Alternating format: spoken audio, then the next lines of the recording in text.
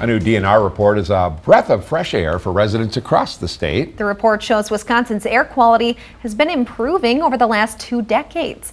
According to the annual report, concentrations of most pollutants regulated under the Clean Air Act have been decreasing in all regions of the state.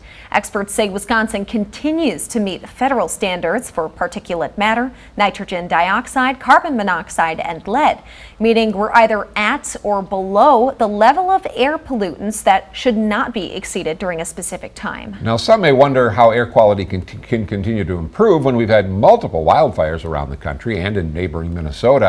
Well, experts say it's because the report had data trends through 2020, so this year's wildfires are not factored in. But what's contributing to the pollution concentration decrease? Experts say we have different state and federal pollution control programs to thank.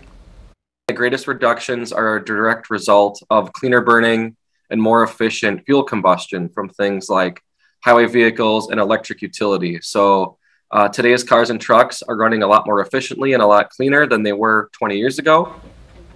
Ways you can help improve your neighborhood's air quality include unplugging gadgets, turning off those lights when you're not using them, composting leaves instead of burning them, and maintaining your car's tire pressure and regularly changing its oil so it releases fewer emissions.